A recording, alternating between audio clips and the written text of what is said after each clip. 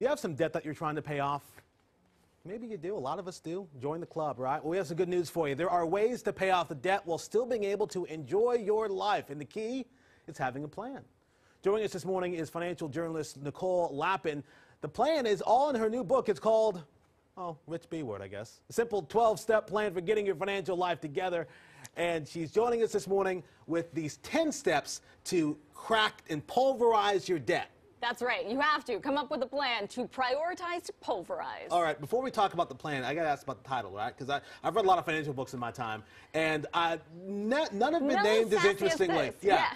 it's sassy. It is sassy. It has confidence and it has attitude. And we just hit the New York Times bestseller list. Oh, congratulations. So a lot of young women are really giving us great positive feedback that it's the first finance book that has no jargon whatsoever and Love also it. swears a little. Uh, it's love it. I love it. All right, uh, let's get into the actual tips here. 10 steps. So the first tip you have for us, 10 first step, prioritize. That's right. And look at your highest interest rate first because it feels really great to just get rid of one loan altogether. Yes. But you really have to look at the interest rate, and most often that's going to be your credit card. Okay. So tackle that first. And then you say to set a schedule. So you can say, all right, so this card has the highest rate. So what's next? That's right. And you should come up with a realistic schedule. In the news business, we love deadlines, right? So come up with something realistic, but not too comfy. Paying off debt is not a comfy thing. Mm. And the longer you wait, the more debt you're going to have to pay off. So also look at automatic payments. So taking it out of your bank account or Before salary. see it? But because Oh, it doesn't no. feel as bad that way. okay, okay.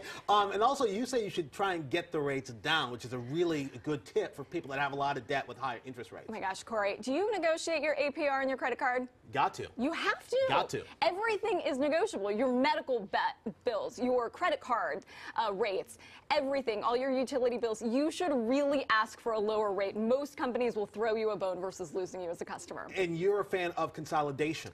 Depends. If you're ready to really pay off your debt, get your debt monkey off your back, you can look into a balance transfer, which is basically taking all of your balances and putting it into a lower balance. But you have to be ready to pay this off because normally it skyrockets after one year. Yikes. All right. And you say you've got to be realistic. You talk about having a plan, but you say methodical, but also realistic.